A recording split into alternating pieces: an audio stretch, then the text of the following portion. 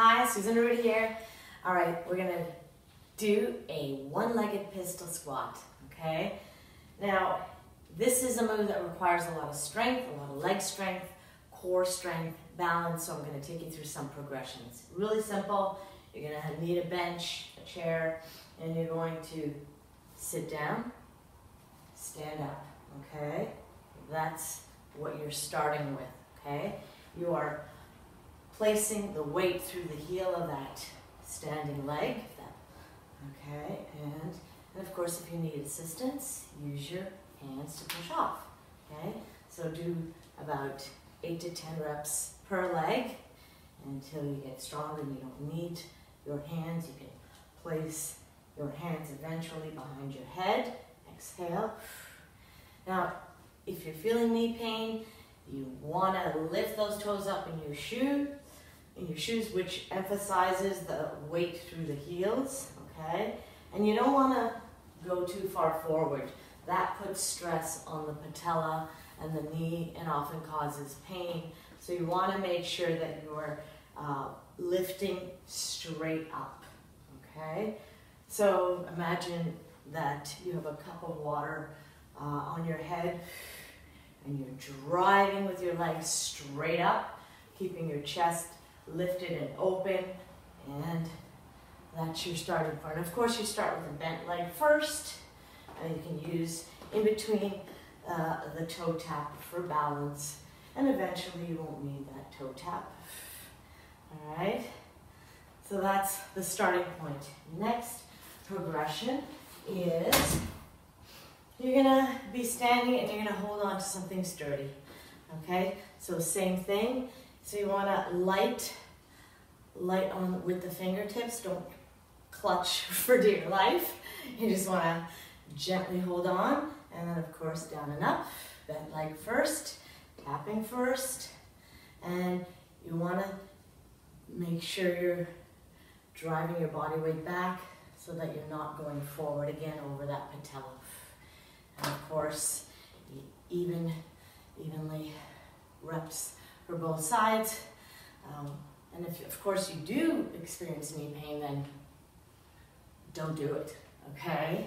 Uh, make sure that your alignment is right, and if that's um, right and it still don't, doesn't feel good, then you need to find an alternative. Now, again, make sure when you're dropping down that you're not coming forward, okay? So hips stacked, um, knee, uh, shoulders stacked over your hips rather.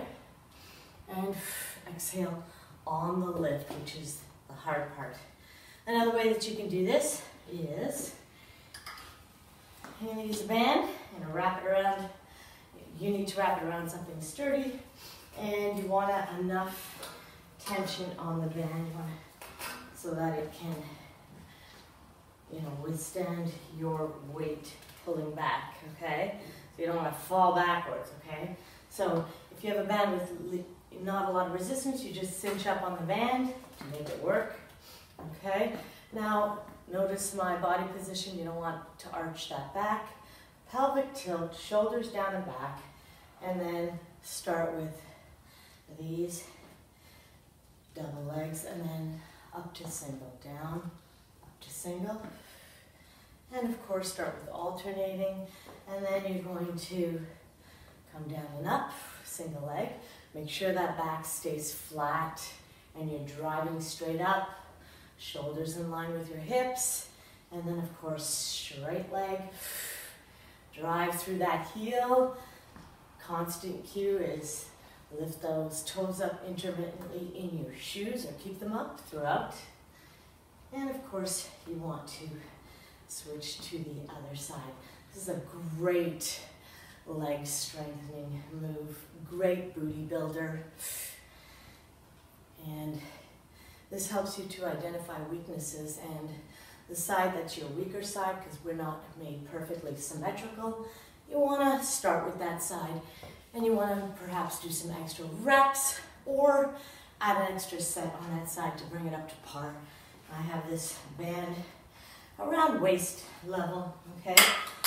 Another option is you've got a cable machine, stack it so that it's going to uh, be able to serve as a counterbalance. And I'm gonna raise this up again to about hip height. Okay, and I'm just gonna use this as an anchor. Okay, show you here. Use it as an anchor. Again, gotta use your mirror and monitor your alignment. And then one leg, pistol squat. And eventually you'll just be able to do it on your own. Okay, so up and down. And of course, you can hold weights at your side. And this builds strength in the entire leg, hip flexor, booty, thigh. It's core strength. It's definitely a powerhouse.